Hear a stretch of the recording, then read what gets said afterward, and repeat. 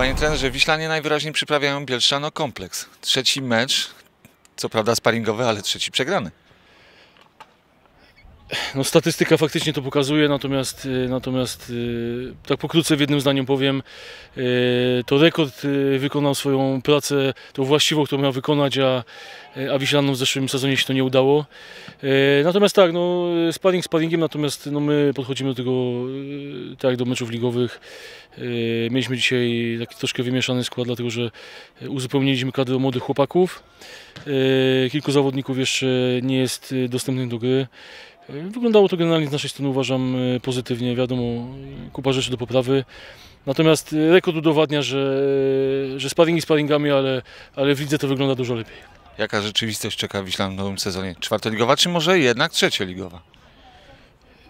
E, Na to pytanie jest mi bardzo ciężko odpowiedzieć. Ja zajmuję się przygotowaniem drużyny do rozgrywek czwartoligowych, bo na tą chwilę w tej czwartej lidze jesteśmy. E, Natomiast jeżeli się okaże, że ta rzeczywistość się dla nas zmieni e, na ten pozytywny scenariusz, mamy zbudowaną kadrę, będziemy ją musieli tylko uzupełnić o prawdopodobnie tylko zawodników młodzieżowych i jesteśmy przygotowani na to, żeby walczyć na, trze- na trzecioligowym froncie.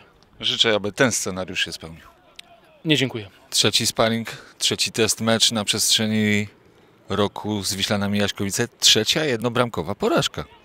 No tak, tak się złożyło, że chyba nam ten rywal nie leży, tak jak Miłek Pawłowice, no ale mam nadzieję, że w następnych sparingach pokażemy, że z Jaśkowicami, że, że, że, że, że chcemy z nimi przede wszystkim wygrać, nie? Bo to, o to chodzi na boisku. Natomiast obraz całego spotkania przegranego 0 do 1, no, w zasadzie takiego należało się spodziewać po tygodniu ciężkiej obozowej pracy.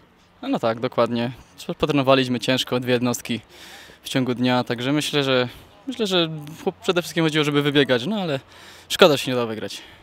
Niedokładność podań to, to była największa bolączka chyba w dzisiejszej konfrontacji rekordzistów. A po sobie mo- mogę powiedzieć, że chyba nogi jeszcze nie niosą, ale na to przyjdzie czas po obozie.